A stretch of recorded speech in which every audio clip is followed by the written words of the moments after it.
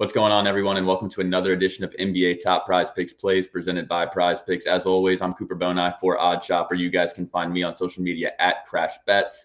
We had a 0 2 night last night, guys. Not the start to the week that we wanted. Took Trae Young under 10 and a half assists. I believe he finished with 13. Didn't do much scoring, but had a good night assisting the Rock. Then we had Collin Sexton, guys. He had nine points at halftime. We took him over 13 and a half points, had nine points at halftime, had 11 points pretty early on in the third went on to score zero points the rest of the game, finished at 11. An unfortunate 0 2 night, guys, but I have three plays for tonight, and it's Taco Tuesday over on Prize Picks. They're going to be throwing out discounted plays all day, so you guys go check those out. Before I hop into my picks for tonight, like, subscribe, click that notification bell on the OddsShopper YouTube page. Also, guys, if you haven't already used that Prize Picks link down below in the description, Look no further when trying to sign up. That is a free first match deposit on prize picks all the way up to $100, along with getting free Stokastic materials. Let's go ahead and look at the three plays we have for tonight, guys. First one I want to start out with Zach LaVine over four and a half rebounds. Zach LaVine averaging 4.6 rebounds per game this season. That number has jumped up to 5.8 rebounds per game in the month of January.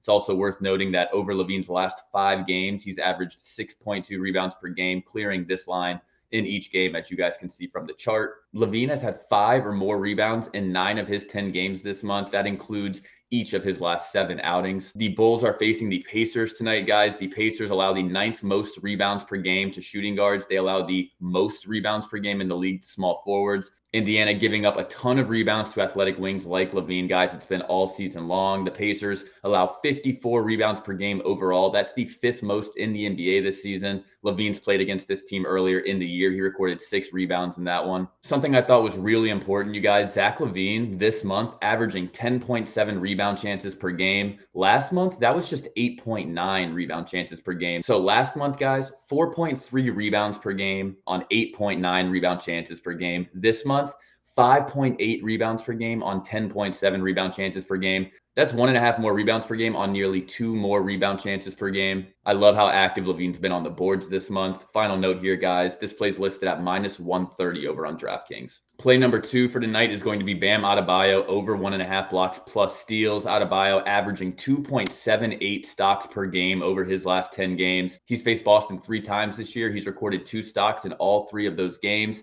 He's had two or more stocks in his last 11 regular season games against the Boston Celtics. As of late, Miami getting more healthy. You guys, Bam Adebayo has been averaging 0.08 stocks per minute if we give Bam Adebayo 34 minutes, I'm projecting 2.72 stocks, and I think he could easily play more than 34 minutes tonight. He's been playing 35 or more minutes in pretty much every single game that's competitive this season. This one has a 217 and a half point total, a three point spread. Celtics have a few Q tags on the injury report as of now, guys, both guards and bigs. Marcus Smart, Malcolm Brogdon, Rob Williams, all on the injury report as of now. Final note for this one, guys. This play is listed at minus 120 over on Caesars. The third and final play for tonight is going to be LeBron James over six and a half assists. LeBron James averaging 6.9 assists per game this season. That number's up to 7.8 assists per game in the month of January. LeBron had seven or more assists in six straight games before his last two outings, where he had six and four. Now that line has moved back down to over under six and a half. LeBron's been averaging 14 potential assists per game in the month of January, guys. He's listed as questionable tonight. I fully expect LeBron to play in this matchup against the Clippers.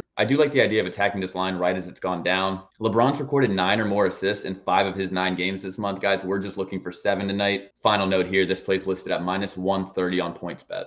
That's going to be it for me, you guys. As always, be sure to like, subscribe, click that notification bell on the OddsShopper YouTube page. If you haven't already signed up for prize picks, use that link down below. If you have a friend or family member that's been wanting to get involved, Tell them to use the link down below, guys. Free first match deposit all the way up to $100. You're also getting free stokastic materials with that. Again, y'all, those three plays Zach LaVine over four and a half rebounds, Bam Adebayo over one and a half stocks, LeBron James over six and a half assists. I'll be back tomorrow with another video, you guys. Let's hope tonight goes a little bit better than last night. I'm really wanting to get on a heater, man. I feel like it hasn't been awesome the last couple of days. So let's get this thing turned around. Appreciate you guys stopping in, checking the video. I'll be back tomorrow. We can chop it up about what I have for tomorrow night and talk about how these plays went.